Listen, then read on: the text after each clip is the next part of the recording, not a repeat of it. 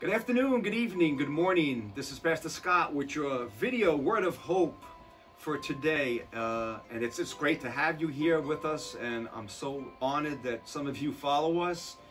Um, and I have a special word today. It's just three days. And I'll tell you what that means in a second, but hold on. First, I want to make sure you have our text number, uh, 631 769 6712. Text us anonymously with any questions or concerns, or you can email us at lifetalklive7 at gmail.com, and those words will pop up on the screen for you. Let us know what you're going through.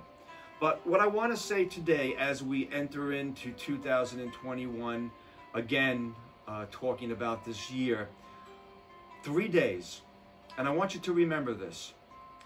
There is only three days in all of our lives, and there's only one day we can really or should really be concerned about. You see, we have yesterday. Okay? Yesterday is already gone, it's past. Not much we can do about it. If you've made mistakes, you know what's amazing? Confess them to God in Jesus' name, and they're forgotten. Let it go move ahead. And then we have the other day, that's tomorrow. Tomorrow, very little we can do about. We can worry about it.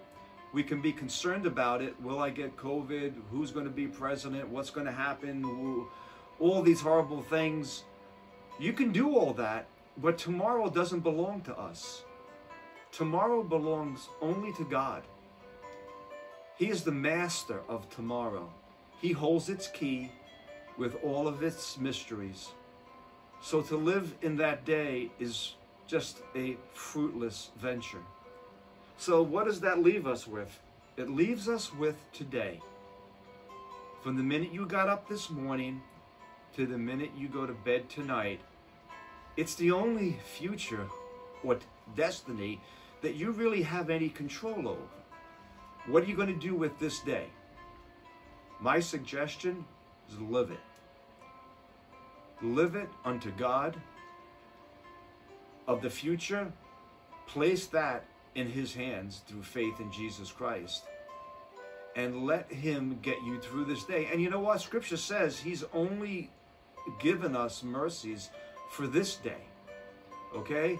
And they're new every day. He'll give us the mercies to get through this day. He'll give us the strength and the peace and the hope. Tomorrow, that's in God's hands. The only thing you have to be concerned about is that you're in God's family. And then your tomorrows, they're safe and they're secure. This is Pastor Scott. Have a wonderful day.